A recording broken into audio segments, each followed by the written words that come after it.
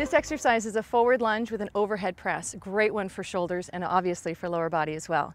So stand in front of your kiddo, anchor a little bit lower than normal.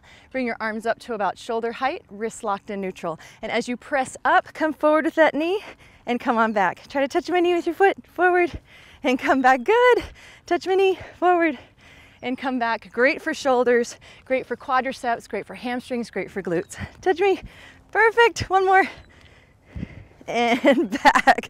Nice, that's a forward lunge with an overhead press. This exercise is a resisted butt kicker run. It's really great because it pulls on that cardio exercise so it forces that core to fire up. Anchor nice and low, bring that tube up to your side and then start that run. Heels to rear. I'm gonna get you. I'm gonna come get you. All the way towards that kiddo. You can get me with your foot. Heels up towards your rear, belly nice and tight. Nice. Good job. And that's a butt kicker run with resistance. This exercise is called a wood chop. It's fantastic for core strength, but it's very functional as well. You're gonna anchor down nice and low. Take one handle, put it through the other. It's called a lasso loop. Step away from your anchor. You're gonna come towards your kiddo.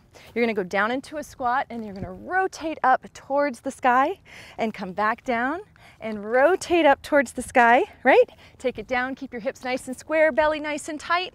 Perfect for the shoulders, great for the core, very functional movement. Down and rotate. Can you see me? And rotate. And that exercise is called a wood chop.